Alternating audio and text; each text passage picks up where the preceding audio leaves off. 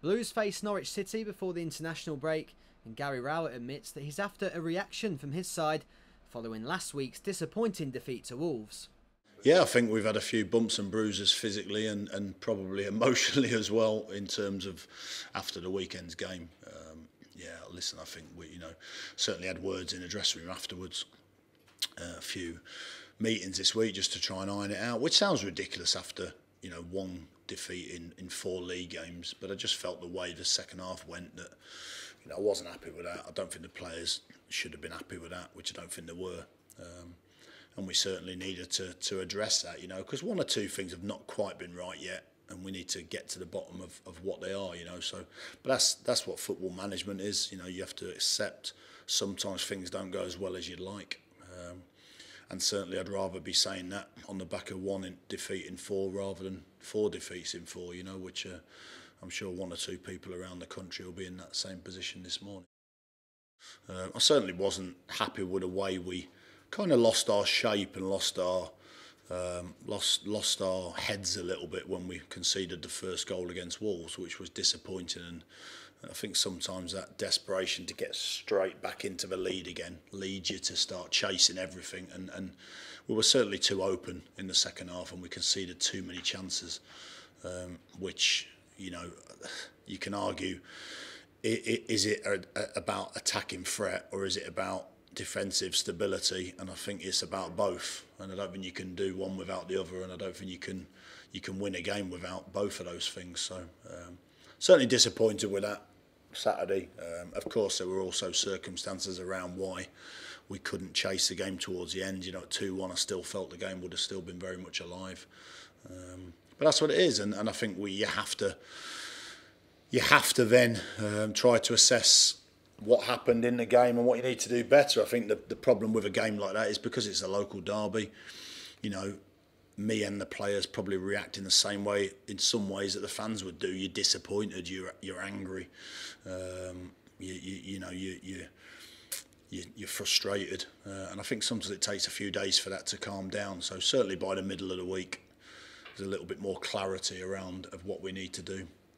Um, and again, look, we're talking about, you know, you can, whether we've played well in all the other games, you're talking about a, a poor 45 minutes. Um, you know, the start of what's a, been an indifferent start to the season, but still a relatively solid one. You know, we're disappointed with it, but we're not sat here with, with no points on the board and we're not sat here having conceded, you know, already 15 goals. Do you know what I mean? So, so uh, a little bit of a little bit of balance about it, and uh, you know we'll be ready to go again Saturday. The Canaries have made a good start to life in the Championship, and Rowett knows that his side will be in for a tough afternoon at St Andrew's. They've been good. I think they've been solid. Um, I think they've won two and drawn two. Uh, they're, they're, they're, a good side. They've got Premier League quality within the side. You know, they've got people like Pritchard. I think they've paid eight million for, who's not not fit yet and not in their side, but yet you still look. They've got Howson, Hoolahan, Jerome, um, Brady. You know, they've got some really um, Naismith. They've got some real good quality players in there, and and that's what you face in this division. You face teams that have just come down that have still retained those players that can give you that extra edge. But we were good last season against those type of teams. You know, in some ways those games suited us even more. Um, you know, the likes of the Middlesbrough game, the Hull game, the Derby game, you know, all of those teams that were that were in the same position as Norwich right now. Um, we were excellent against them, in some ways, the more a team comes to make the running in a game, uh, the more a team comes to dominate possession, the more opportunities sometimes it gives us to, to, to play the way that we can play when we do it properly. So we certainly won't be overawed. We'll be respectful. It's going to be a real tough game. You know, I think any team playing Norwich this season is going to be in for a tough game because I think they'll be. They'll, I'm pretty sure they'll finish up and around the automatic promotion spots. So it's up to us as a good gauge. It's a good gauge as well to see how we react. You know, sometimes you learn a lot about a team when you lose a game, how you react after that. You know, and if we react strongly, then our character's good. You know, if we don't react well, um, then it's something that certainly I'll have to try and address. With transfers the hot topic at the moment, the manager revealed his ambitions for the final few days of the window. We're in a position in a minute, like I said to you, that if we want to get some in, we're probably going to have to get some more out.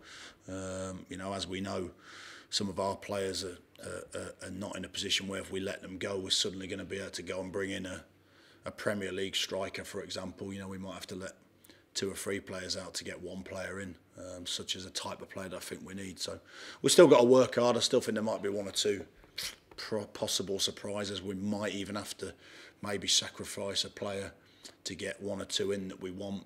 Um, but that's again, that's something that I'll have to try and look at because, like I said, I can't go out unfortunately and spend 10 million pounds on a ready-made um, instant success for, for, for something we see as a problem. So.